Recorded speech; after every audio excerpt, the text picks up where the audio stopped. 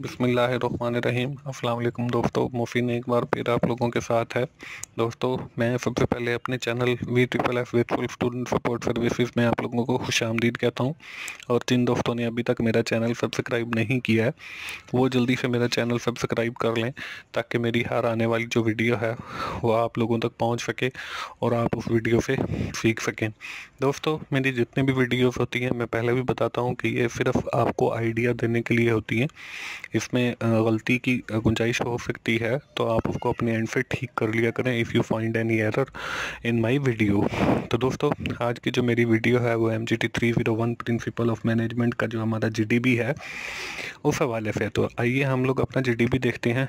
इसमें हमें एक केस दिया गया Rooh Afza have recently make an addition in its product line and introduce a freezed red drink named as which is carbonated uh, version of Ruafza. At the moment, Ruafza Go will serve to the passenger of Pakistan International Airline PIA. Ruafza Go is launched right before the beginning of Ramzan, which is indeed is a very perfect time to define made by Hamdard. While drinking of carbonated drinks, few names suddenly pop up in our mind such as Dew, Coca-Cola, Fanta, Pepsi, etc. Now the question is that how will Ro Ava Go will compete with these high remarkable and renovated fizzy drink uh, as Jameshiri which is major competitor of Ruava and um, produced by Karshi Labor, uh, Laboratories uh, had also launched its carbonated uh, drink but it taste did not hit success among target market therefore Karshi stopped producing it. At the moment the most demanding drink is category of Pakola which is com uh, competently serving in its consumer through both carbonated and non-carbonated uh, drinks.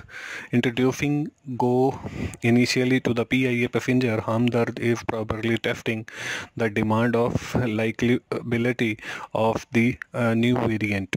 Hamdard did not advise this new variant through any media have yet considering this fact this new variant need to be properly advertised in order to hit the marketplace and being successful ये हमारे पास एक case है जी हमने करना क्या है required है जी being a student of principle of marketing you are required to suggest the probable marketing mix four P product price place for promotion for go by do of uh, so that it may hit success within the consumer. Provide provide your answer in detail.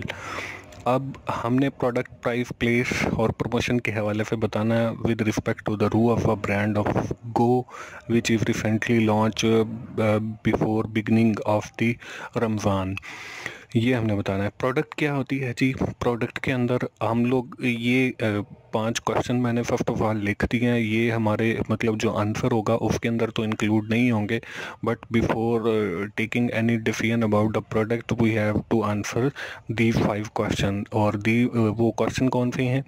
What if to be called हम इसको कहेंगे क्या? Which we have been going to launch how it is branded उसका brand क्या होगा? What need does it satisfy ये कौन सी ज़रूरत को पूरा करेगी? How and where will the customer use it इसको कस्टमर कैसे इस्तेमाल करेंगे? What feature does it have meet this need कौन से फीचर ऐसे हैं जो उस कस्टमर की ज़रूरत को पूरा करते हैं? इन सारे सवालों के जवाब में मैंने नीचे ये जो पॉइंट लिखे हैं ये हमने अपने जीडीपी के आंसर के अंदर इंक्लूड करने हैं in the product portion the company identify the need of the product first of all company जो है वो प्रोडक्ट की नीड को आइडेंटिफाई करेगी by analysing the market then जो है he made the product named F Go वो मतलब उसको गो के नाम से पुकारा जाएगा और वो प्रोडक्ट बनाएगी. It's not Aakarshi brand but it is a brand of Hamdard. ये हमदर्द वालों का ब्रांड होगा, करछी वालों का डिफरेंट है। यहाँ पे करशी लिखा हुआ है तो हम करशी नहीं, बल्कि हमदर्द का ब्रांड आगे जो है it satisfy the need of drinking customer in Ramzan जो मतलब रमज़ान के अंदर लोगों को ड्रिंकिंग की ज़रूरत होती है मतलब अफ्तारी के वक्त तो वो इस ज़रूरत को पूरा करेगी। Customer will use it at the time of iftari इसको अफ्तारी के वक्त इस्तेमाल करेंगे। It have new good taste to meet the customer need और ये एक नया मतलब टेस्ट है कस्टमर की नीड को पूरा करने के लिए जो वो उसकी ड्रिंकिंग नीड है। ये प्रोडक्ट के हवाले से हमने लिखना है, जी आप इसके अंदर एडिशन भी कर सकते हो। इसके बाद आ जाता है हमारे पास second P that is price price जो है वो सेकंड पी है।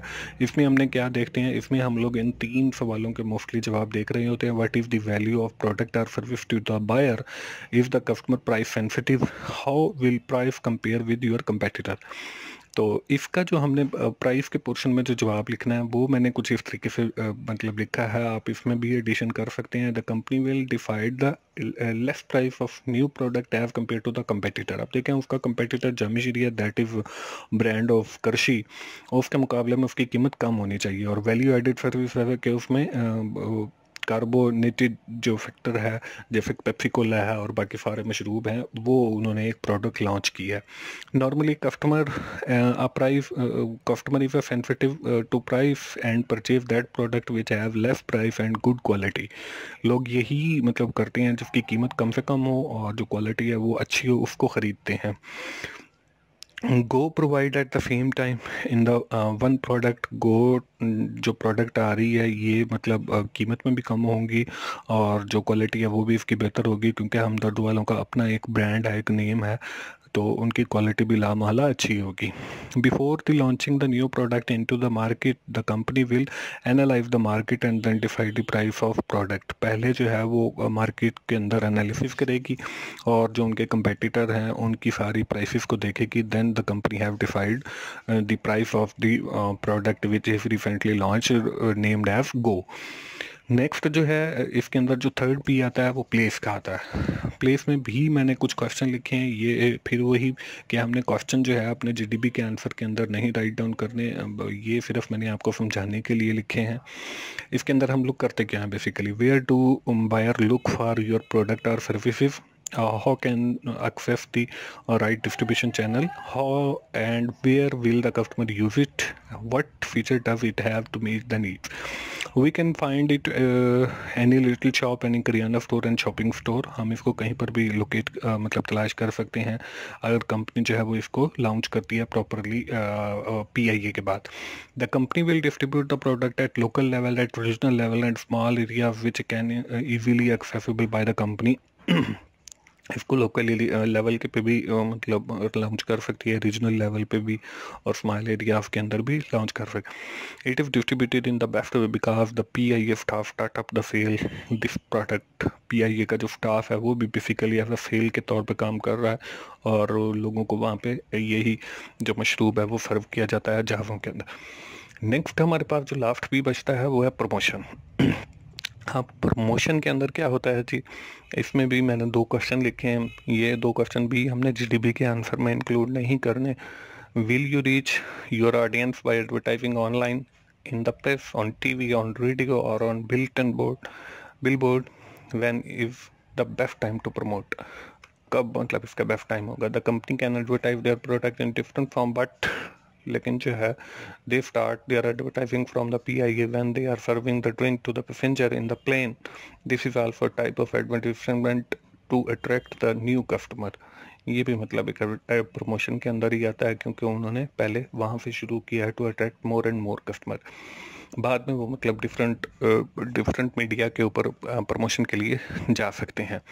नेक्स्ट जो है, इसका मैंने लिखा है these type of drink are mostly use in Ramzan so the company we launched it this product before starting the Ramzan ये मतलब एक अच्छी बात है कि कंपनी ने जो है, जैसे रूअफ़ है, या जाम शीरी है, ये मोस्टली रमज़ान के अंदर ज़्यादा यूज़ किए जाते हैं। ये गर्मियों के अंदर ज़्यादा यूज़ किए जाते हैं। तो कंपनी ने जो है रमज़ान शुरू होने से पहले और गर्मियाँ शुरू होने से पहले ही इसको लॉन्च कर दी है और इट इज़ क्वाइट पॉसिबल कि they have capture the huge audience और ह्यूज ग्रोथ या huge market share in the market place तो ये है दोस्तों हमारा जी टी जैसे मतलब मुझे मिला, मैंने आपको आइडिया एक शेयर कर दिया है। You can rewrite it and add some value इसके अंदर कुछ और ऐड कीजिए और अपना जीटीबी बनाइए। और मोफिन भाई की website V U triple F dot com और मोफिन भाई का YouTube channel YouTube dot com slash V F S for you देखते रहिए और मोफिन भाई को दुआ में याद रखिए। थैंक यू वेरी मच दोस्तों। अल्लाह हाफिज़।